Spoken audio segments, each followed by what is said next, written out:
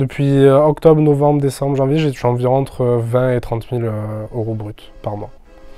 Salut, je m'appelle Quentin, j'ai 27 ans et je suis modèle OnlyFans. Et sur internet, on m'appelle French Brutus.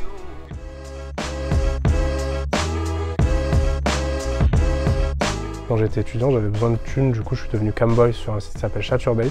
Donc je faisais que des vidéos tout seul et j'ai dû être créatif parce qu'au bout d'un moment, euh, des mecs qui se branlent devant une caméra, il y en a des millions.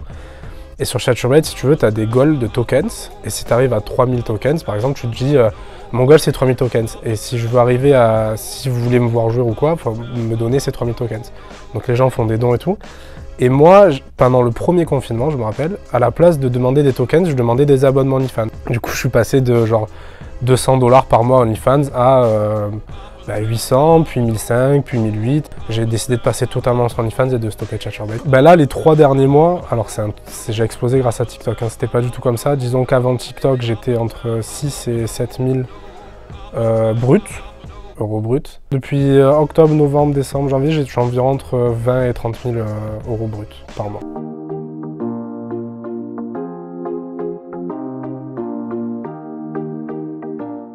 L'éducation sexuelle à l'école est minable, on va, va, pas se mentir, on nous apprend à mettre une capote, mais euh, c'est ce qui est drôle, c'est qu'on nous apprend à être safe dans la forme parce que tu mets, es safe parce que tu mets une capote, mais on nous apprend pas à être euh, safe dans le fond, donc on t'apprend pas le consentement. Et du coup, moi, j'ai appris avec le porno, mais le porno, tu, apprends mal. Hein. J'ai grandi comme avec tous les jeunes hommes de, mon âge, avec des complexes, avec des attentes vis-à-vis de moi, et pire vis-à-vis de mes partenaires.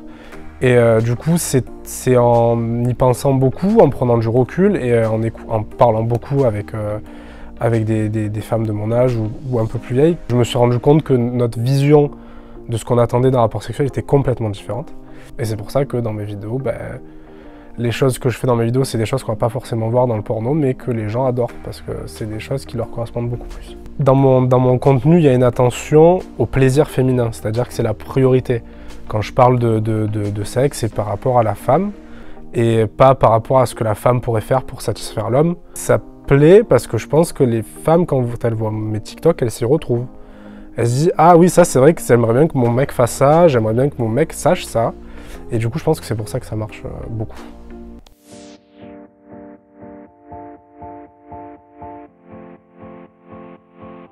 Que j'aimerais euh, faire ce qu'on appelle des content trade, donc collaborer avec des grandes stars du porno aux États-Unis, parce que tout le monde est OnlyFans maintenant, même les gens qui sont dans l'industrie euh, normale.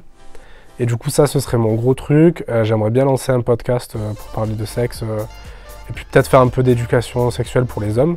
Le conseil que je donne aux gens quand ils me demandent ouais, ouais j'aimerais bien commencer OnlyFans et tout faire du contenu, c'est est-ce que tu penses que ta famille va l'accepter Si tu penses que tu vas devoir te cacher, ne le fais pas. Moi, je suis pas chanteur ou quoi, donc euh, quand on me reconnaît, on vient pas me le dire. Et on m'envoie un DM après sur Instagram, c'est pas toi que j'ai vu, là, là, là, et tout. On m'a vu dans, la, dans ma rue, euh, chez moi, en bas chez moi, à Marseille d'ailleurs, avec mon chien. Et j'ai reçu un DM 10 minutes plus tard, je crois que je t'ai vu avec un chien blanc sais oui, c'était moi. Donc du coup, on me reconnaît dans la rue, ça m'est déjà arrivé plusieurs fois, mais on vient jamais me le dire. C'est mon rêve qu'on vienne en vrai. Si vous me reconnaissez dans la rue, venez me voir et dites-moi bonjour.